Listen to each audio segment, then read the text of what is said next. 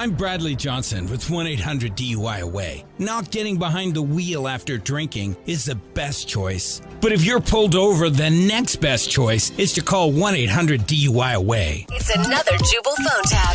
Weekday mornings on the 20s. Only on Movin 92.5. Hello. Hi, is this Kirk? T- Yes, sir. hey, Kirk, how are you? My name is Darvin Wood, and I'm the vice principal at your child's elementary school.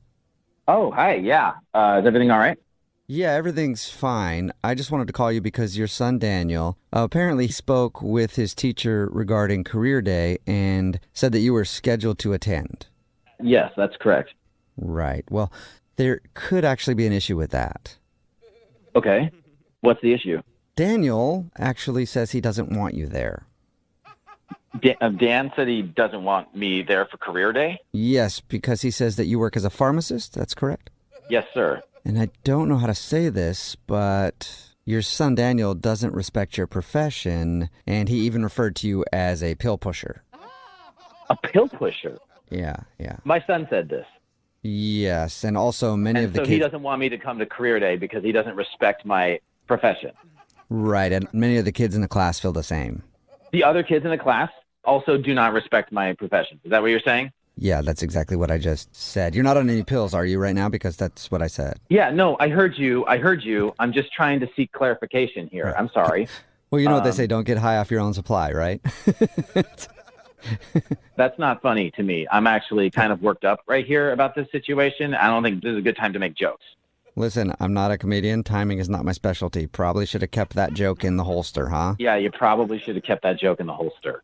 All right, well, I'll holster all the funny and we'll get back to business then. Yeah, okay. Going back to what you said, the other children in the class also don't respect my career, so I'm not going to be there at career day.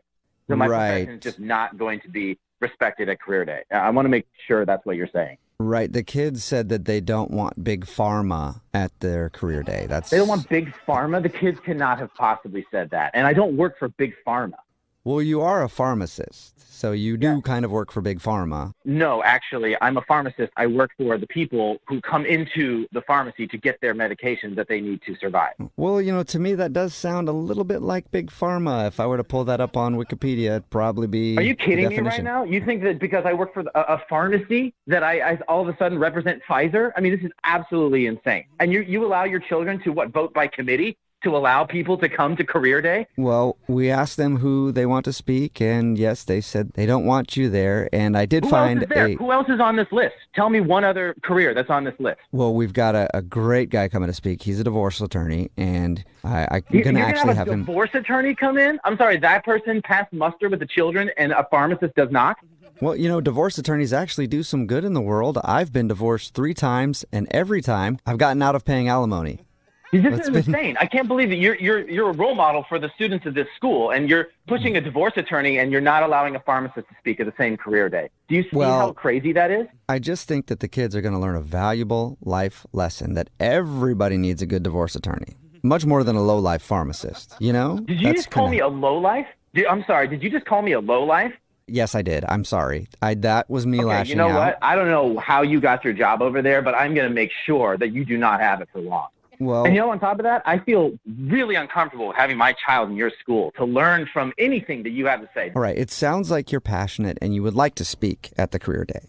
I don't give a shit about career day. What I care about is that you are excluding people from it because of popular opinion from a bunch of seven year olds. Well, let's say mm, there was some sort of exchange. I'd be more than willing to let you speak. What are you talking about? Oh, I don't know. You know, uh, the divorce attorney who's speaking, he's offered me a 15% kickback on any business that's referred to him by you, one of the children. You're, you're what accepting bribes right now? Is this actually happening? This is a public school. Bribe's a pretty strong word. I would consider this more of a gentleman's agreement. Do you know how this sounds?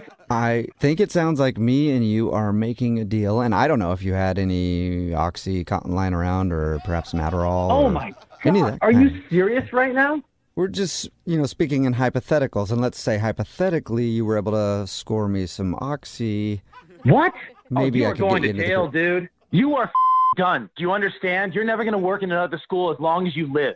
Well, I agree because I don't even work in a school right now because this is a prank phone call. What? This is actually Jubal from Brooke and Jubal in the morning doing a phone tap on you, and your wife Leslie set you up. Oh my God, are you serious? Are you serious? Yes, I am. She told me that you were booked for a career day and wanted to play a prank on you. oh my God. yeah.